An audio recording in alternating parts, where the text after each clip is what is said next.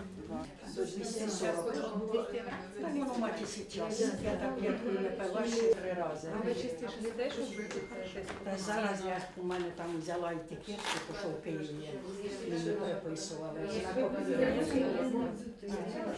Знакоплення. Вона казала на два місяці.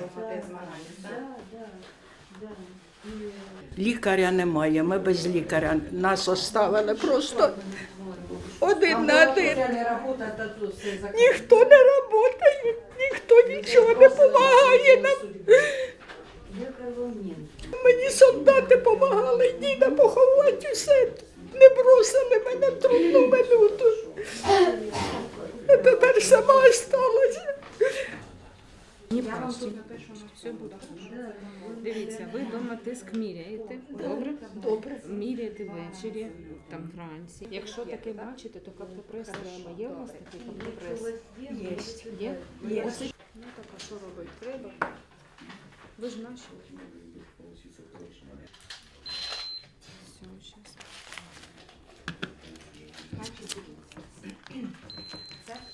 п'ять по одній таблетці вранці і ввечері. 10 днів велика Знаєте, за 30 хвилин. Mostly of the occupied territory, they still have the family physician, G- GP doctors, or internal medicine doctors, but unfortunately, they do not have the access to the to the specialist, which is very sad, because sometimes they need the proper consultation of the doctor. Mostly, mostly they want to see the ophthalmologist, the endocrinologist, and cardiologist. This is the most common specialty.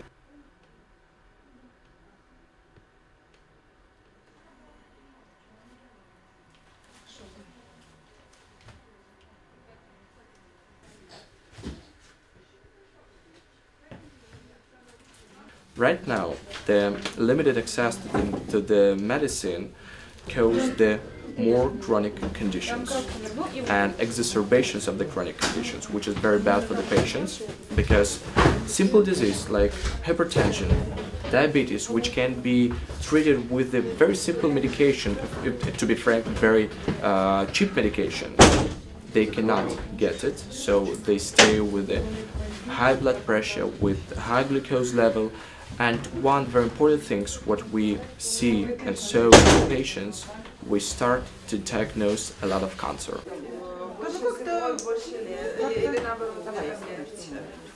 Ну. Так, оно как-то вот... э, Закричала сразу все было. Да, да. Мгм, э, Растет, развивается, судя по всему, сейчас я посмотрю. Короче, давайте что-то из любимого. Не, не все, больше не посмотрим. Вот я недавно взяла и такой интенсив, такой. А летом лучше? И Ну, летом было чуть Хорошо. Вот этого у меня никогда не было. Никогда не было. Нет такого, что там весной или летом обострял. Ну, его, слава богу, больше нет. Выпил, ну я... Мол, нормально переносит. Вообще никогда не принимал, да?